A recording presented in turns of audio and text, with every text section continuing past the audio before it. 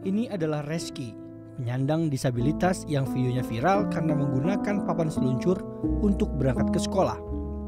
Viralnya video Reski akhirnya membuat pemerintah Provinsi Sulawesi Selatan turun tangan membantu siswa sekolah dasar asal desa Parigi, Kecamatan Tinggi Moncong, Kabupaten Goa, Sulawesi Selatan itu. Bantuan tersebut berupa kursi roda untuk menggantikan papan seluncur yang selama ini digunakan Reski sehari-hari untuk beraktivitas. Menurut tim UPZ Pemprov Sulsel, bantuan tersebut sebagai bentuk keprihatinan gubernur melihat kondisi fisik siswa SD yang semangat belajar meski tidak memiliki kondisi fisik yang sempurna. berikan eh, satu kursi roda baru dan ada santunan dari Bapak Gubernur. Sementara itu kakak kandung dari Reski berterima kasih atas bantuan yang diberikan kepada sang adik.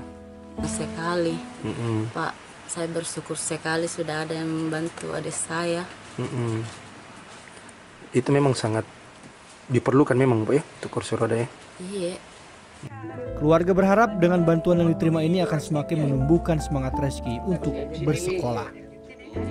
Ibnu Munsir, Makassar, Sulawesi Selatan.